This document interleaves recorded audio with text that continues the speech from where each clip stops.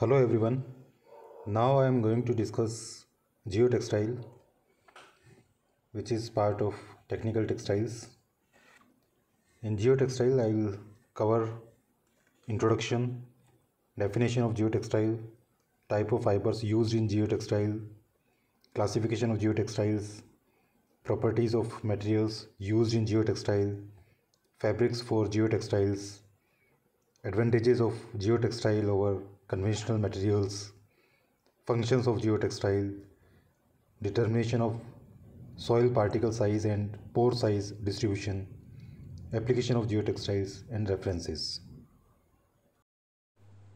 So first of all introduction the use of textiles for geotechnical applications on systematic and scientific basis was first reported in North America and Europe in late 1950s Geotextile include all those woven and non-woven textiles materials used in civil engineering industry to provide support, stability, separation and drainage at or below the ground level. In fact, geotextile is one of the members of geosynthetic family. Those members include geocells, geogrid, geomembrane,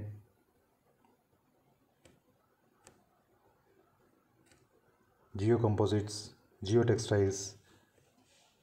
In a way, geosynthetic includes geotextiles, geogrid, geocomposites, geomembranes, etc.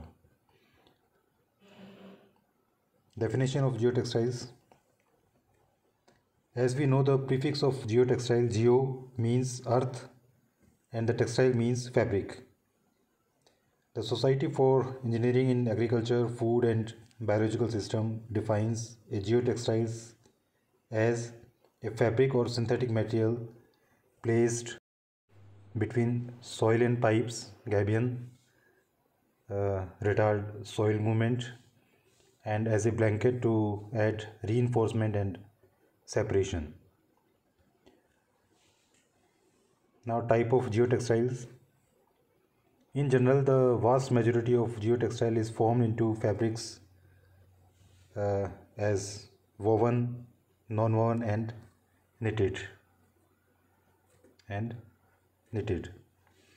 Uh, mostly woven fabrics are preferred which are made of uh, monofilament, multifilament, slit film monofilament or multifilament.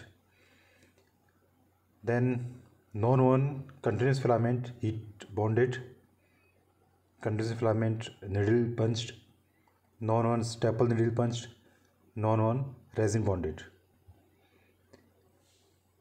So uh, non-wovens also preferred, but uh, uh, it is less than woven fabrics. And last one is knitted, which is uh, uh, very less used in comparison to woven and non-woven. Now properties of geotextile material. The material should be light, thick, cheap, strong and flexible. The material should be rot resistant. The material should have good tensile, tearing and bursting strength. It must be permeable because it will be used as uh, reinforcement and filtration. It should be inert and ultraviolet resistant. It must be compatible with the constructional material like cement, clay, lime, bricks, gravel, stone, etc. Now, determination of properties of geotextiles. Uh, present methods of geotextile properties determination the major areas are mechanical, hydraulic and durability. Mechanical determinants. The short duration mechanical tests are as tension test, tear propagation test and burst test. Hydraulic determinants which include the holes are small enough to prevent the continuous migration of soil particles. Geotextiles should be pressure developing in the soil immediately adjacent to the geotextiles.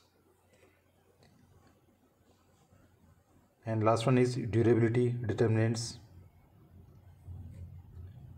Uh, it should be resistant to biological environment, chemical changes, oxidation, temperature variation, abrasion, fatigue resistance, ultraviolet radiations.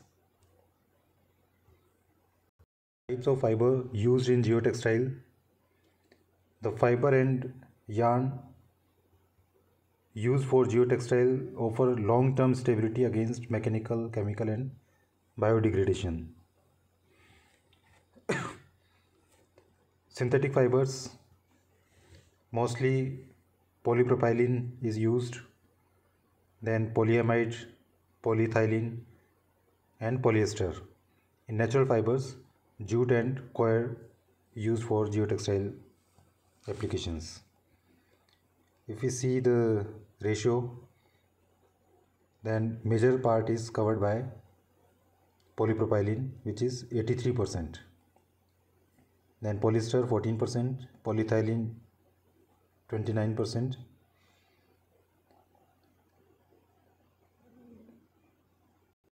sorry polyethylene is only 2% and others 1%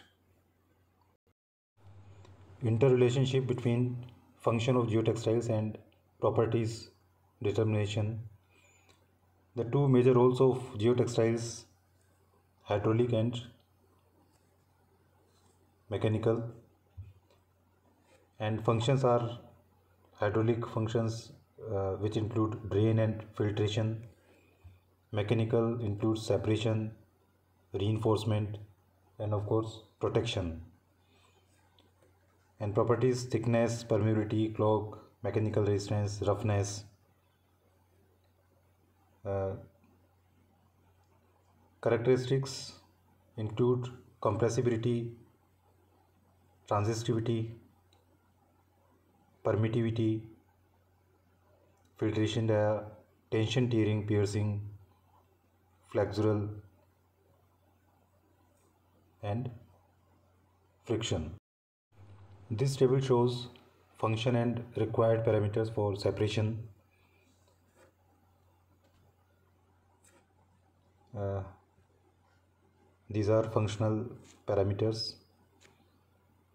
Then mechanical requirement and hydraulic requirement long term performance so during installation mechanical requirements impact resistance should be high elongation at break should be high hydraulic apparent opening size AOS and thickness are important. Long term performance ultraviolet resistance should be there.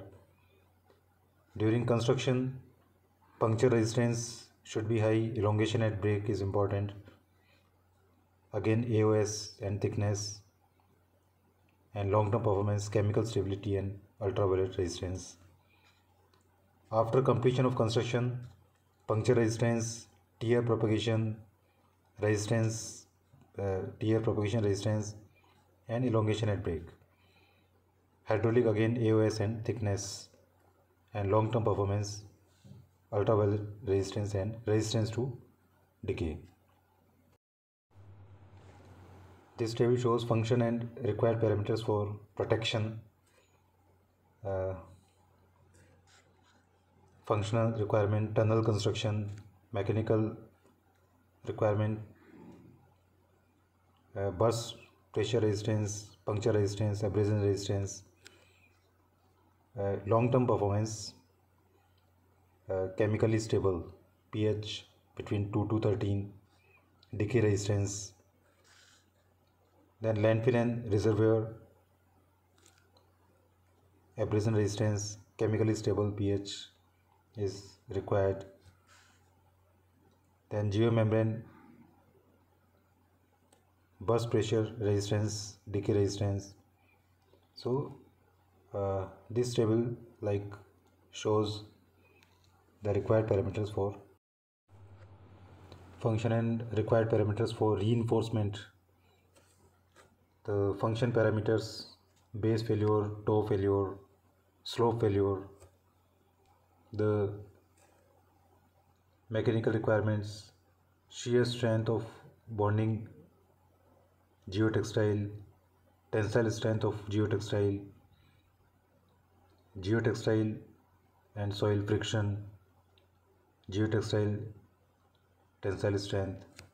Hydraulic requirements hydraulic boundary condition hydraulic boundary condition for these both base failure and slope failure and long term performance chemical and decay resistance which is common for all function parameters